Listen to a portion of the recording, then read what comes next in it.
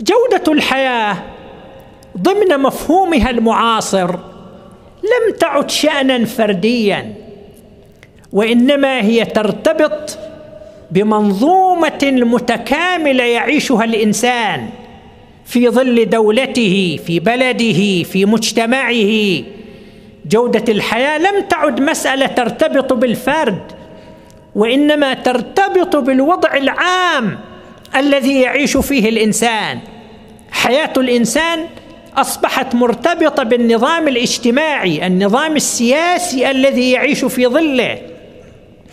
خدمات الحياة ترتبط بالمنظومة المتكاملة في إدارة أي بلد من البلدان وأي شعب من الشعوب. ولكن من المهم جدا أن تنتشر بين الناس ثقافة جودة الحياة. لماذا؟ من أجل أن يتطلعوا إلى تحقيقها إدارة البلد إدارة الوطن قيادة الوطن. تعرف أن هذا شيء مطلوب هذا تطلع لكل أبناء الشعب ولكل أبناء المجتمع. هذا من جانب.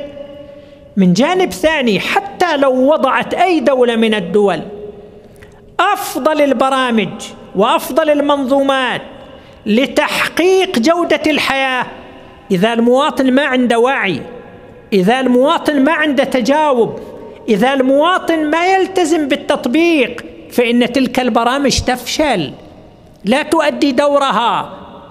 من هنا إلى جانب وجود برامج وإلى جانب وجود منظومة لجودة الحياة في البلد. لا بد وأن تكون هناك ثقافة تؤهل الناس للتفاعل مع منظومة جودة الحياة والارتقاء بمستوى الحياة وتطوير الحياة. هذا أمر مهم. أن الناس يكون عندهم هالثقافة هالوعي يكون عندهم هالذوق هالالتزام. بل في بعض الأحيان قد يعيش ناس مجتمع طبقة ناس يعيشوا في بلد فيه منظومة راقية للحياة المتقدمة لكن هم لأن ثقافتهم متخلفة ما يستفيدوا من هالمنظومة. الآن في أمريكا في أوروبا في تقارير أن بعض الأحياء التي يعيش فيها بعض المهاجرين بعض السود مثلا في أمريكا أخيرا لما انطلقت حياة السود مهمة في أمريكا كانت هناك تقارير عن وضع أحياء يعيش فيها السود في أمريكا. قسم منها هناك تقصير من الأجهزة الإدارية في البلد وقسم منها يحمل الناس المسؤولية.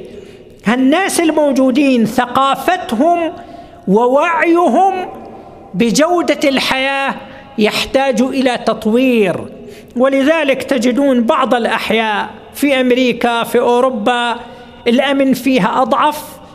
الرخاء الاقتصادي البيئة النظافة. ما تشوف ذاك المستوى من النظافة الذي تجده في الأحياء الأخرى.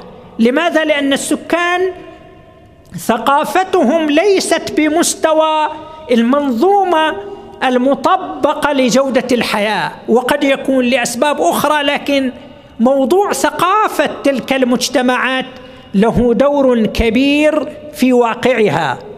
وبالعكس في أفريقيا مثلا في بعض الدول التي تنخفض فيها جودة الحياة. جاليات أجنبية يجون مثلا من أوروبا أو حتى من بعض البلدان العربية لبنانيين وغيرهم يسووا لهم حي تكون في جودة الحياة أفضل من بقية الأحياء. لماذا؟ لأن هذا المجتمع هالناس عندهم ثقافة.